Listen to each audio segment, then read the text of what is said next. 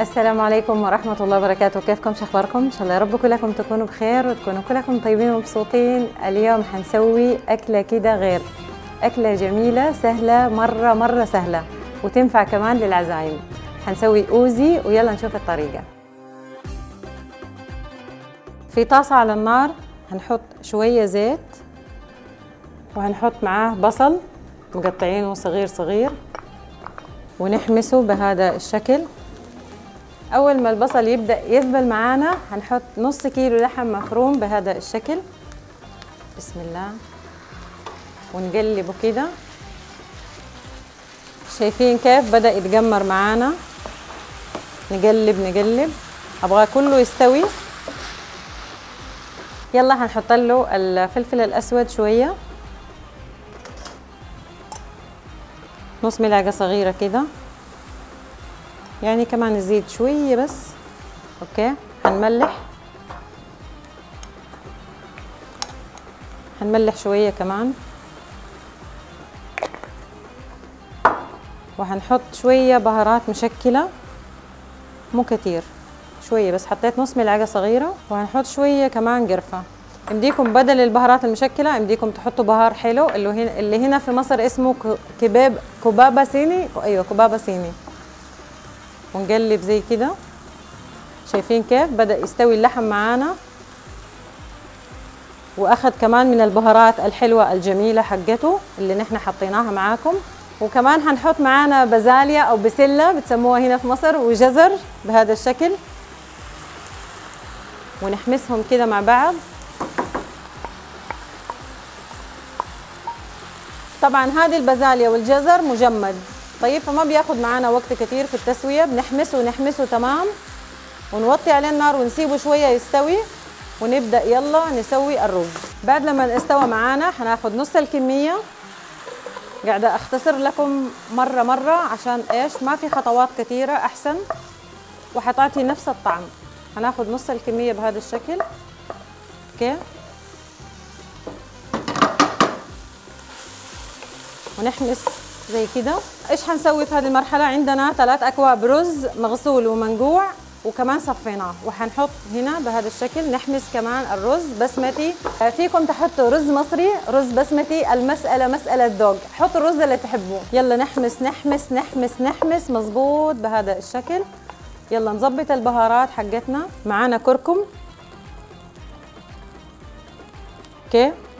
هنحط شوية كمان بهارات مشكلة شوية بس مو كتير عشان نحن حاطين في اللحم وكمان شوية قرفة شوية مرة قليل وهنحط شوية كاري. ونقلب تمام البهارات ونحمس الرز تمام عشان يطلع حلو كده والحبة بحبتها ونثيري وجميل. هنحط مرق دجاج أو امدينا نحط موية حطوا اللي تحبوه. شايفين كيف؟ ما شاء الله تبارك الله. المنظر غني عن الكلام.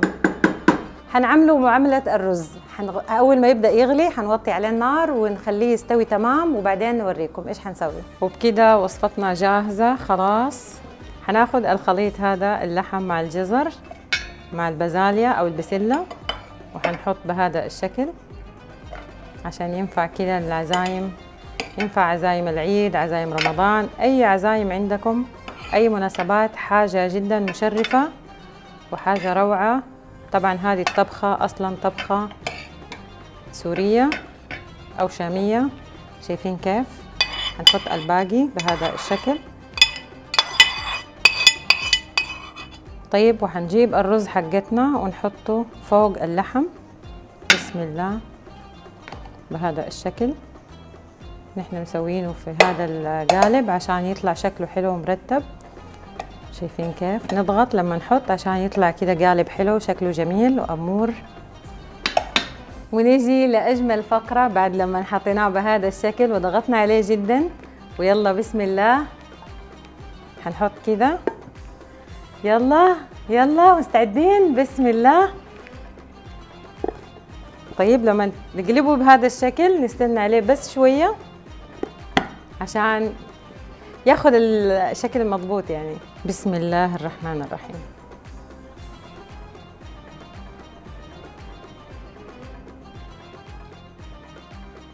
الله عليك يا أم عمر. الله عليكي إيش الجمال هذا؟ شوفوا كيف شكله. يلا نزينه بالشكل هذا الجميل المكسرات حقتنا الحلوة. بسم الله.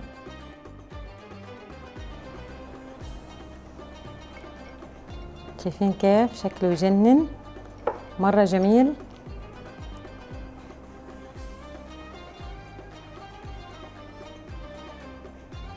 اليوم قدمت لكم حاجة كده روعة تنفع للعزايم وزي باللحم. بديكم تحطوا معاه دجاج آه، من فوق. بديكم تحطوا كمان لحم آه، على قولتهم عصفور اللي هو يكون صغير صغير قطع.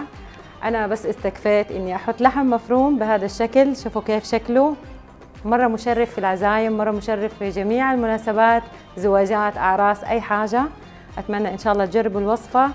أحبكم مرة وأستاهل تقولوا لي الله الله الله عليك يا معمر أتمنى تتابعوني في وصفات ثانية. أحبكم مرة. bye bye. كل وصفاتنا تجدوها حصريا على موقع الوصفة dot com.